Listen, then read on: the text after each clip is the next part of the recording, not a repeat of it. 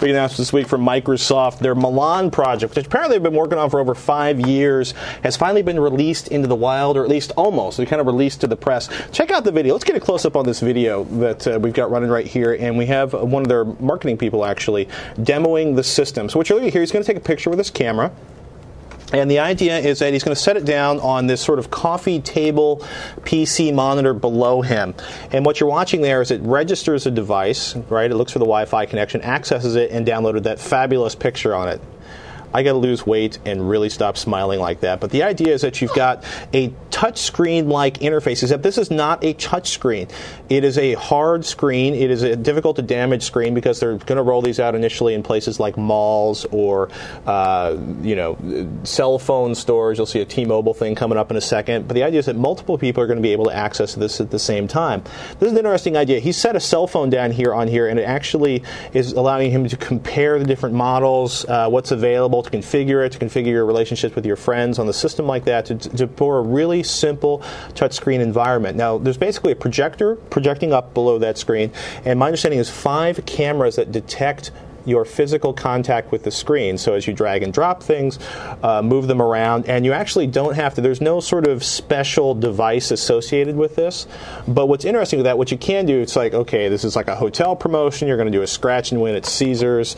Um, and then the idea that, you know, somewhere inside of the Caesars facility, you're going to be able to sit down and get an idea. You'll open it up, you look at nightclubs. Obviously, these are ideas of how they want to market this. I want to know when I can get it into my home because the really cool idea is to be able to look at your pictures on this, browse the web, move around.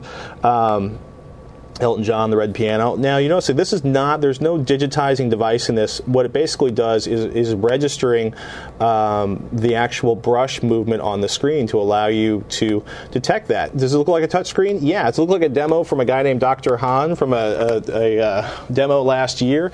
Yeah, but it's using a different technology behind it.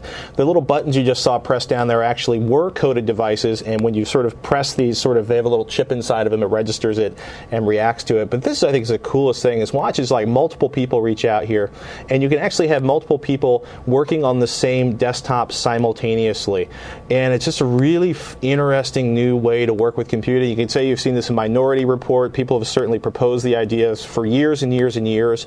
Uh, you know, as soon as people started working with the GUI, I think the next step is to make it touchable and actable.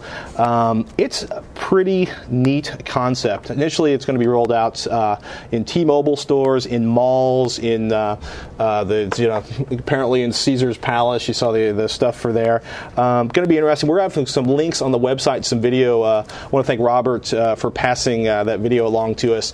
Um, that was a demo from last year. Very similar technology. It's being developed by an NYU professor. You can take a look at the two and look at the demos and see what's kind of similar or different about them.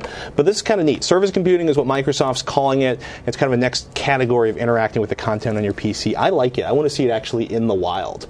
Cool. If you like the video you just saw, you can find lots more at www.dl.tv.